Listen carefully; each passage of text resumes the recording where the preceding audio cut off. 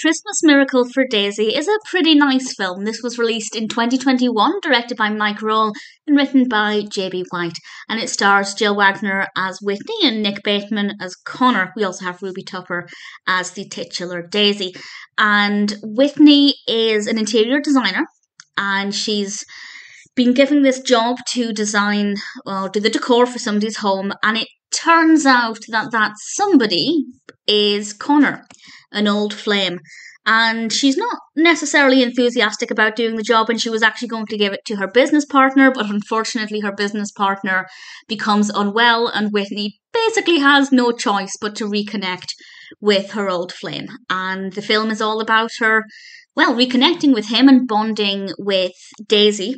And realizing that actually she might still have feelings for him and they might work as a couple. And there we have our Christmas rom com. It's pleasant enough.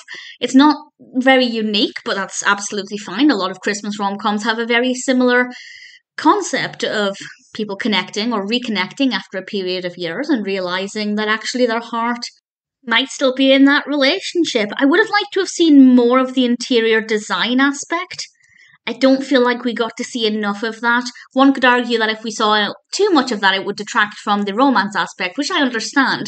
But I think just a little bit more of it would have been quite appealing. We get a decent amount of, of Christmas in this. The characters are all really likable. It's a it's a very nice film, and I think that's the best way to describe it. There's nothing wrong with it. There's nothing that I didn't enjoy.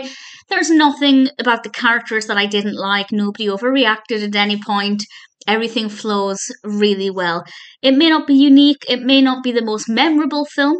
I think it's quite similar in part to a lot of other films. There's nothing about it that particularly stands out among other films.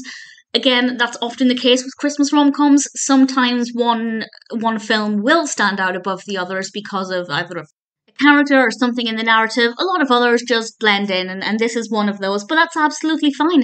It's a very pleasant, very comfortable, and inviting viewing experience. It's easy to get behind the narrative, get behind the characters, have a lot of fun with it, and emotionally connect with the characters along the way.